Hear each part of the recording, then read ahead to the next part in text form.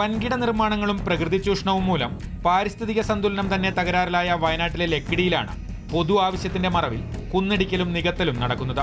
ദേശീയപാതയോരത്തെ ദേവാലയത്തിന് പുറകിലെ വലിയ കുന്നിടിച്ചാണ് മറുവശത്തെ ചതുപ്പ് പ്രദേശം നികത്തുന്നത്.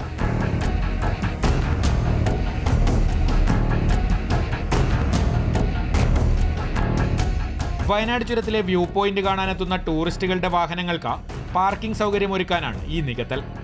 ഗതാഗതക്കുരുക്കും മാലിന്യ പ്രശ്നവും കാരണം നവംബർ ഒന്ന് മുതൽ ചുരത്തിൽ പാർക്കിംഗ് നിരോധിച്ചിരുന്നു. അതേസമയം പാർക്കിങ്ങിന് സൗകര്യമൊരുക്കാൻ നിർദ്ദേശമുണ്ടെങ്കിലും കുന്നിടിക്കാനോ നിലനികത്താനോ റവന്യൂ വകുപ്പ് ഒരനുമതിയും നൽകിയിട്ടില്ലെന്ന വൈത്തിരി തഹസീൽദാർ മാതൃഭൂമി ന്യൂസിനോട് പറഞ്ഞു. ഇതിന് തൊട്ടടുത്ത പൊതുമരാമത്ത് വകുപ്പിന്റെ സ്ഥലം വെറുതെ കിടക്കുമ്പോഴാണ് പാർക്കിങ്ങിനായി കുന്നിടിക്കലും നികത്തലും നടക്കുന്നത്.